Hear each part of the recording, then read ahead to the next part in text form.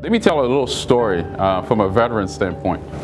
I remember when I was here at SU as an undergrad, um, so when I was here at SU, I was in Air Force ROTC. But I do recall that some of my friends were all pretty much, you know, people interested in serving our country. One of my friends in, uh, in, uh, in my class actually was a Marine. And he was telling me that, you know, if we were in the Marine Corps right now and we're sitting in class, he says, I don't have my M16 under the desk. And we started talking about that. And that whole conversation took us into a different way. We started thinking about each other and how we feel. And then before we realized it, we started realizing that we felt very comfortable here at this university because there are others like us. There are others who thought the way we did. There are others who kind of related to us. And that's a great thing because you don't want to come to a place where people don't understand you.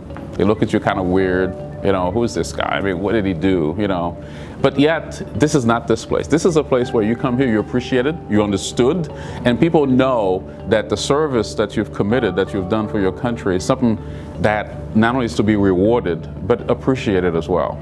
So I think this is a great place to come as a veteran. I, I, enjoy being here. I enjoy when I come, uh, even now, when I see other vets, you know, across campus, I talk to them. I just feel like, you know, we have a connection.